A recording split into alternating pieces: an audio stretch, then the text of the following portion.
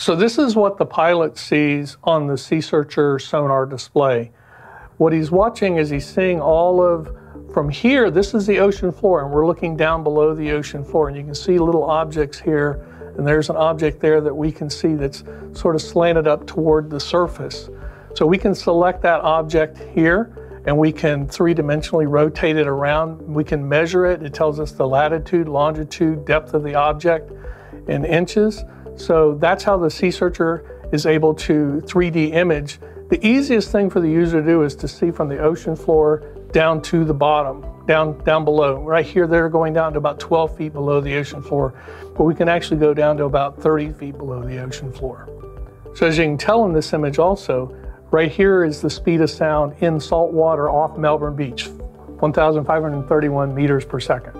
Why that's important is if that speed of sound is not correct, the image gets fuzzy because as the array sensor is looking and trying to locate objects, if it doesn't know the speed of sound and the speed of the reflections, then it, it diffuses or makes the object look fuzzy. So we have to precisely know the speed of sound off in the water off Melbourne Beach, and it actually changes depending on the temperature of the water, and the salinity of the water. Now, Melbourne Beach salinity doesn't change, but the temperature does. So we change that throughout the year.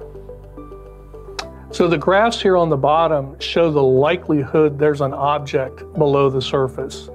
Um, so this graph here, you'll, you'll be able to tell as, a, as an object comes up close, the probability there's an object below the surface increases.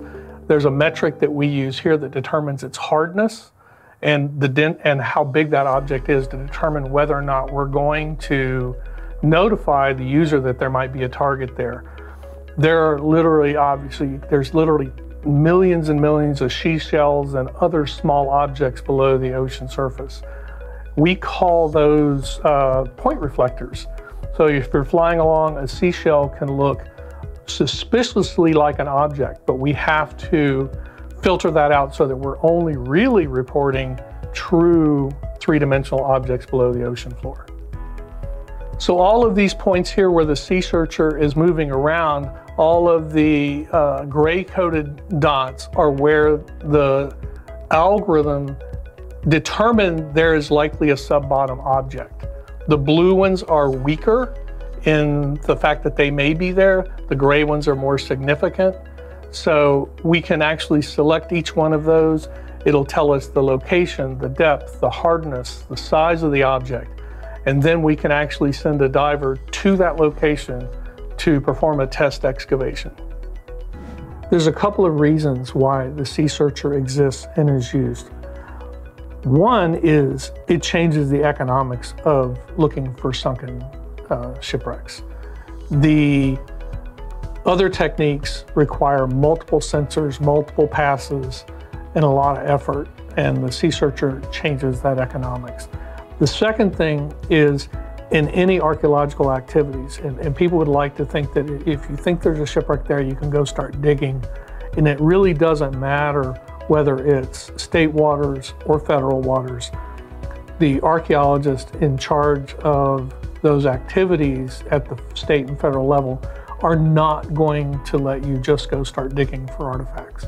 You must do a certain amount of remote sensing, sonar, sub-bottom profiling, magnetometer surveys, so that you understand what item is there, what uh, potential is there, and to not, without care, destroy that shipwreck. So part of what we do is absolutely economic based, and part of what we do is also because the industry demands that remote sensing be done before you start excavating. One of the key tenets of uh, underwater archaeology is you don't just start digging uh, right off the bat. Um, you really want to do what they call remote sensing. And remote sensing involves sonar, it involves magnetometer surveys, it involves um, uh, metal detection or metal discrimination, as we call it. It involves a, a set of techniques that allows you to better understand what's below the ocean floor before you start digging, or in the case of some folks using, using mailboxes and blowers. Um, so our approach in the Sea Searcher is to put pretty much all of those sensors on one platform so that we make one pass over the shipwreck, collect all of the data, and can come back with our uh, GPS corrected locations and tell divers exactly where to go.